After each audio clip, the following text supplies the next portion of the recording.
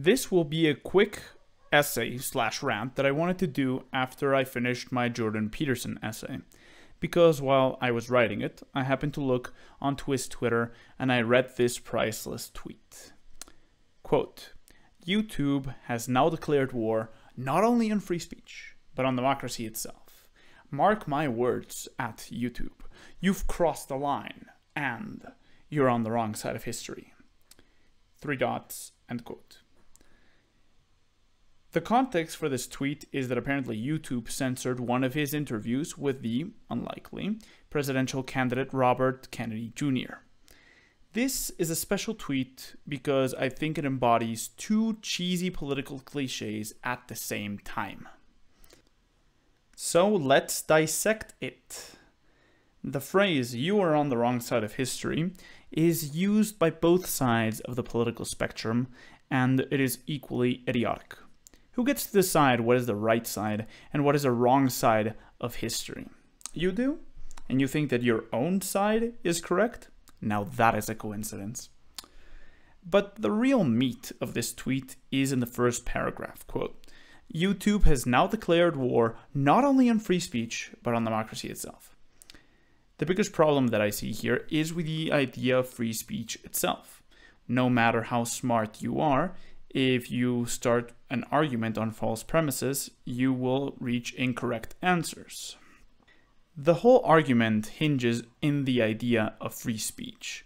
Most conservatives will treat free speech as a holy institution that must not be disrespected, and that YouTube is committing a grave sin by doing so.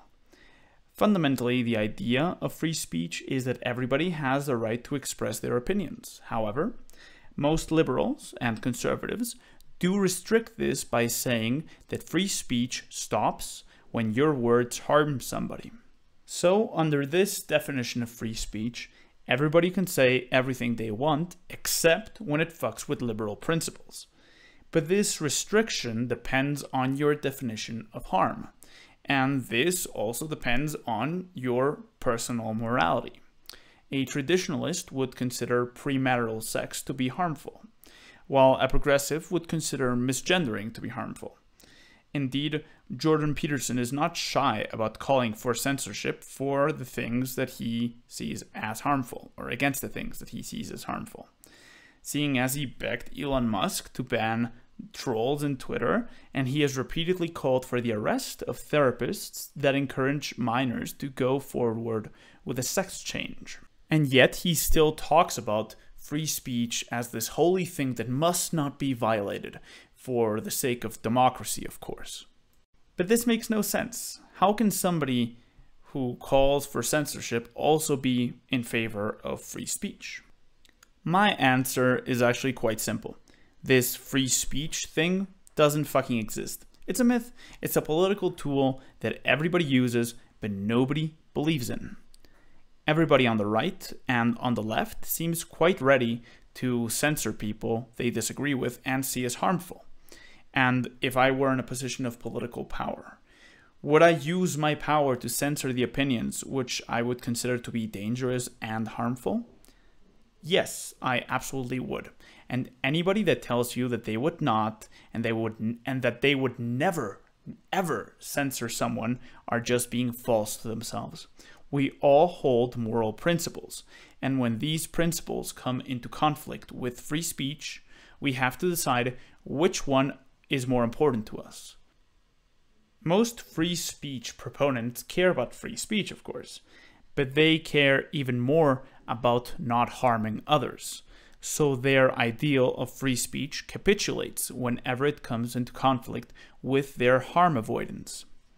So we can conclude that everybody across the political spectrum will abandon the idea of free speech as soon as it comes into conflict with a principle that is more important to them.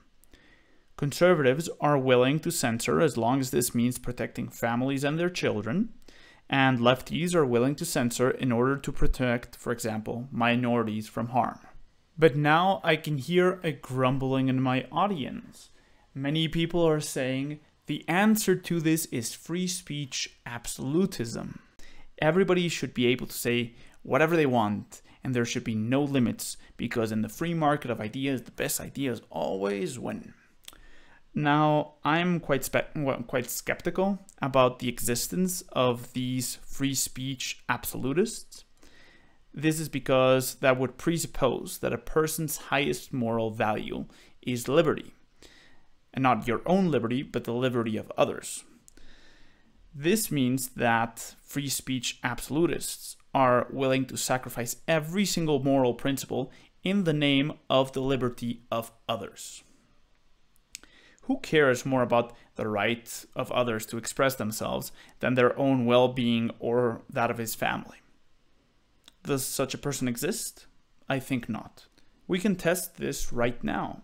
Close your eyes and imagine the ideology that you find most repulsive. And now ask yourself would you sacrifice your life and your family's life so that they can keep expressing their bullshit? I do think that people being able to express their thoughts is good. However, I have other principles that are more important to me than this one, and based on this, I can say that I am quite ready and willing to censor ideas that I consider as harmful. But I am not somehow different than other people. The only difference is that I am not a politician, and I can be honest, unlike the people that talk about free speech but do not believe in it. This dishonesty is understandable. It would be a bad look politically to say, yes, I would censor when given the power. Instead, this idea of I don't agree with you, with what you have to say, but I am willing to die for your right to say it that just sounds better, even though I am honestly convinced that it is fake. This would leave us with the conclusion that truly free speech is a utopian fantasy that will not exist because there will always be someone in power, and whoever this is will have moral principles that will come into conflict with absolutely free speech. Furthermore, we could say that every time that somebody invokes the words free and speech, they are doing so because it is strategic. It is a way of defending themselves against enemy censorship. Everybody is in favor of free speech when they are being censored, but such ideals disappear whenever they have the power to censor other ideas they dislike. We can conclude that whenever somebody mentions free speech, it is not because they believe in such a thing, but because they lack the political power to be able to censor others and are being censored themselves. Everybody is a pacifist when they don't have the gun.